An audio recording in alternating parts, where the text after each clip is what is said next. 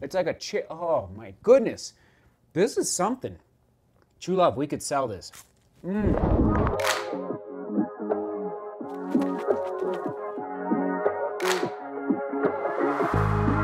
We're starting off in the cupboard, everybody. Why? Because here is my list of food that I eat in a day. I'm missing a few things, so I'm to zip off to, yes, our favorite store, Trader Joe's. Shout out to Trader Joe's. Pick up a few goods, and we're running you through.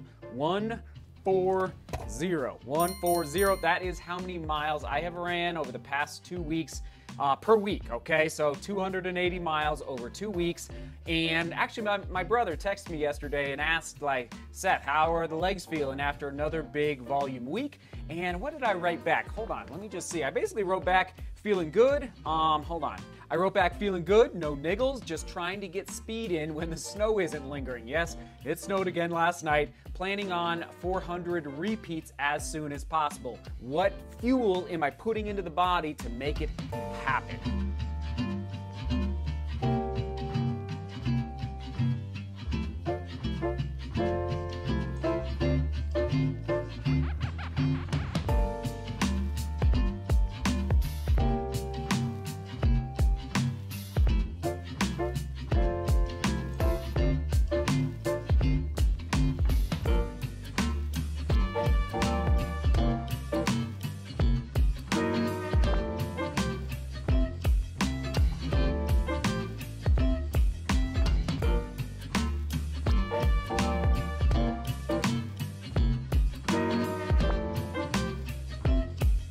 Huge, huge success. Um, it's going to be interesting to see. It's going to be interesting to see what I have added to what I eat on a daily basis uh, compared to two or three months ago. I've definitely added a few things just based off of what I uh, uh, was reminded of inside the store there.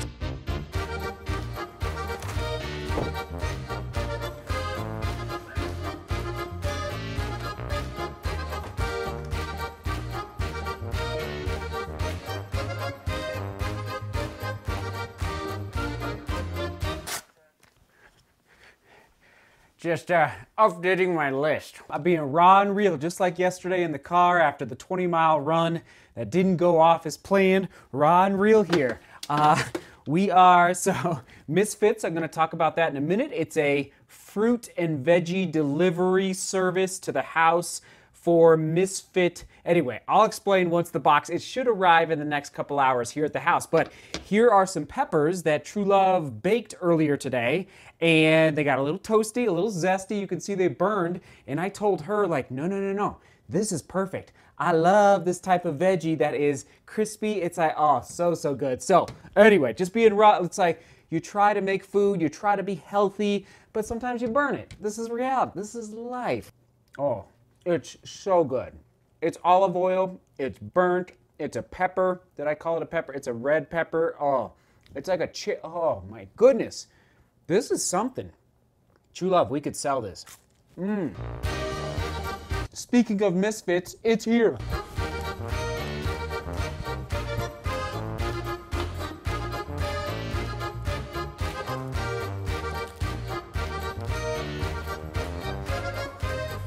Stay tuned. I think I think we have a discount code. Once True Love gets home, I'll ask her. She's picking up the boys from school. I think we have a discount code if you're interested in Misfits. Okay, let's go. All right, we will we will open this up, see what arrived this week. Oh man, we'll open that up in a minute once True Love is back. Here's the list, okay, and here's the book that I read in college. So many of you know, um, the calculated risks. In college, I rarely trained above 100 miles a week. And now that was in 2000, 2005 to 2009, okay? So we're talking a decade ago. Now, as I mentioned earlier, as a 35 year old, topping out at 140 miles in one week of running, it's a lot. And I had a lot of stress fractures in college. Lots of those, those little micro fractures in your legs. Hold on, dropping things microfractures in your legs, and I tried to troubleshoot and figure out and worked with all sorts of nutritionists and doctors and coaches trying to figure out why am I getting so many stress fractures. Well, one thing led to another, and I eventually found this book. Unfortunately, it has diet in the title. I don't like that. I wish it just said the paleo eating for athletes, but it says the paleo diet for athletes, just because diet has a bad kind of connotation uh, this day and age. But anyway, it's called the paleo diet for athletes.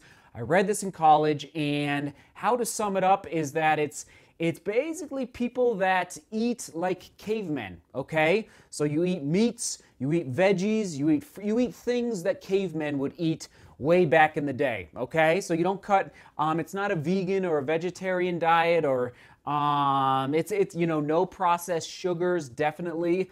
Um, no, I don't think bread, and I don't even actually, you know, the whole butter my bread sadly is going to devastate many, many people. I actually don't eat much bread, and I'll talk about that as well. What I don't don't eat here in a minute. So the paleo diet for athletes, I learned so so much about micronutrients and uh, iron. Okay, so here's the list. Here's my old list. I actually updated it, added a few things that I've integrated into what I eat and drink in a day while training at 140 miles a week. I'm going to read through the entire list and then we will.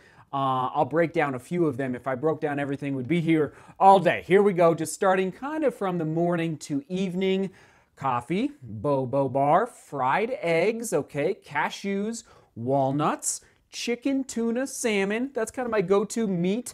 Uh, spinach, you know, oh my, I'll come back to that in a minute. Spinach and veggies. And as far as snacking goes, okay, we all love a good snack chips and salsa. Pickles, I love pickles. Uh, hard boiled eggs with salt on top or pepper, oh, love that. Uh, guacamole. And then as far as drinking, you know, tea, wine, electrolyte drinks, chicken broth. Um, and then for like kind of a dessert in the evening time, especially dark chocolate and popcorn. Love popcorn. Love popcorn. I could, I could eat a bowl of popcorn three times a day. Um, now, what I don't eat, and I'm just kind of analyzing, this might be more interesting than what I do eat. So, what I don't eat or drink is milk, yogurt, cheese. Now, of course, you guys know after a big race, I like to celebrate. We go out and get pancakes and all that good stuff, and you know we have a good time. We celebrate. Um, so this is not exclusively, but most of the time, this is what I don't eat: cheese, uh, milk, um, basically dairy products. Um, yogurt. I'm realizing I don't eat much fruit, which is interesting. Like I'll have bananas, occasion yeah it's I, i'll eat bananas and as far as the fruit category. I don't eat pears much or apples or yeah it's kind of I, oranges. Every now and then i'll eat an orange especially in the summertime. Kind of interesting.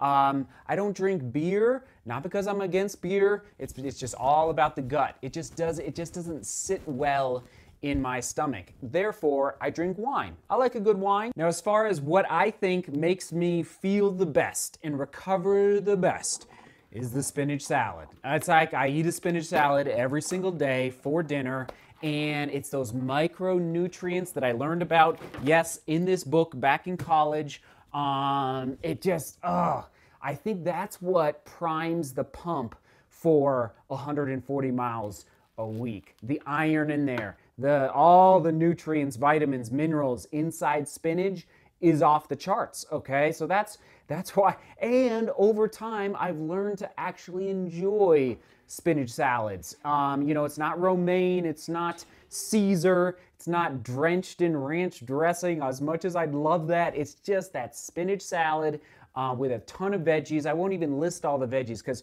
we just pack it in with veggies. Uh, we'll put in uh, a hard actually two hard boiled eggs. Sometimes we'll do tuna, sometimes we'll do chicken, sometimes steak, okay, especially in the summertime when I'm grilling more so in the summertime. Um, so that is, oh, and one last point maybe um, seafood. If I, if Colorado, like we, we, we're landlocked here in Colorado, if I would do anything to have fresh seafood here in Colorado, like really fresh, I would love to eat more seafood, just that lean protein. Oh, salmon. Salmon and tuna is kind of like our go to here. But man, there's so many great seafood options out there, I think, for long distance runners just to get that great protein, but it's lean. So I guess what I'm saying is that I kind of eat like a caveman to a certain extent. I don't know. It works out for me. But again, you got to listen to your own body and you got to figure out what. And it's like an 800 meter runner versus an ultra runner, different. Different, I'd say, different fueling strategies. Um, yeah, so you got to you got to also pay attention to what are you actually training for? Is it a, you know, a 100 mile race through the, the Rocky Mountains or is it a 5K, you know, in New York City? So, mm, hello. It's just so good. It's a hard boiled, mm, salt, hard boiled, mm, mm. Now you gotta watch a little bit of cholesterol in there, but, you know, we runners, we working. Mm. Oh, that's good. Oh, that's good. Getting these veggies in. Mmm kale juice, spinach juice, apple juice, cucumber juice, celery juice, lemon juice, and ginger juice. Mm, don't mind if I do. And I will say, if you're struggling to, to transition your eating, the patience game is key, just like in dis long distance running. Your taste buds, I have found, will adapt over time. Where you actually are like, wow, this is I know this actually tastes good like to the to the taste buds because that's part of life as well let's enjoy life let's not just you know be stuffing food down our faces that is like oh you know you're choking on the way down but over t- you know over time I have found that my taste buds yearn for greens even more so than fruit even though there is some fruit mixed in this guy isn't that fascinating oh yeah question of the day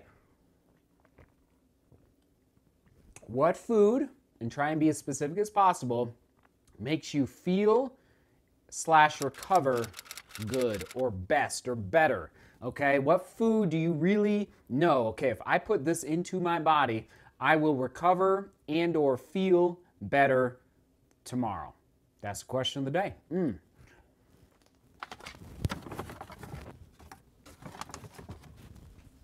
I forgot to write down coconut water. I've been really, this is a new one, really enjoying coconut water. Oh, so much. Oh my goodness. In the last month or two, I've just discovered coconut water. Really interesting. And it's, you know, it's packed with some good vitamins. Wow. High in calcium and potassium.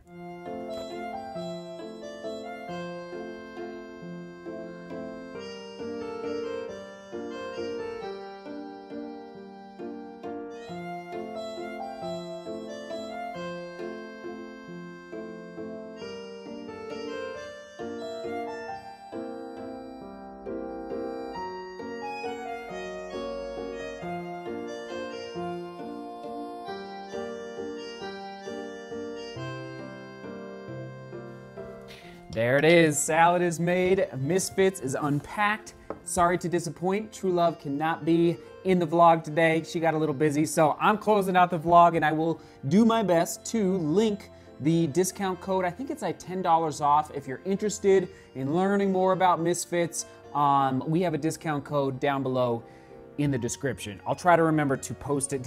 You know how sometimes I forget, but I'll try and remember to post it down below in the description. Thanks for watching, everybody. Uh, 140 miles a week. This is what I eat. And again, um, micronutrients, just trying to pack it in as best as possible. Oh, it's crazy. It's, it's taken years, okay? It's not going to happen overnight. It's taken years to get to this point where I feel excited about eating a spinach salad in order to, yes, wake up tomorrow morning feeling rejuvenated, refreshed, uh, energized to wake up and run 23 miles. 23 miles, everybody. All right, here we go. We'll toss it to, um, I don't even know. Probably another vlog where I've talked, to, probably a couple years ago, I made a vlog about what I eat, which it might be interesting to compare because you'll see what I ate back then and what I'm eating now. All right, seek beauty, work hard, and love each other. See you tomorrow.